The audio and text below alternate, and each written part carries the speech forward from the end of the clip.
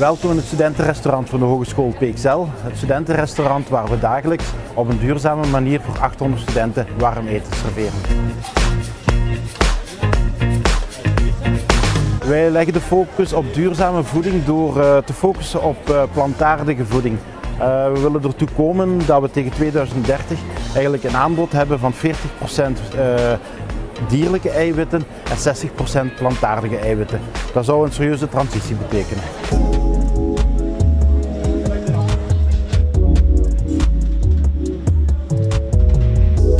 Een van onze voorbeelden van het duurzame aanbod is dat we voor elk gerecht een uh, volwaardig plant, uh, plantaardig alternatief hebben.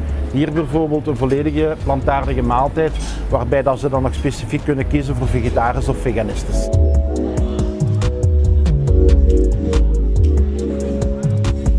Dit is bijvoorbeeld de automaat met uh, gezonde plantaardige snacks.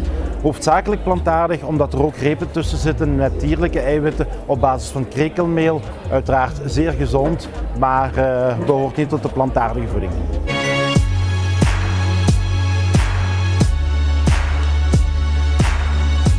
Om te vermijden dat we de voedseloverschotten uh, moeten weggooien, werken we samen met onze partner Too Good To Go, waar we de resten uh, voordeliger aanbieden.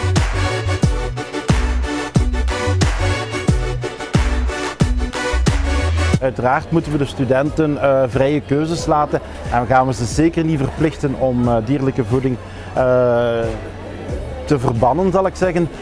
maar we gaan ze wel verleiden om op een lekkere en goedkope manier duurzaam te eten door plantaardig te kiezen.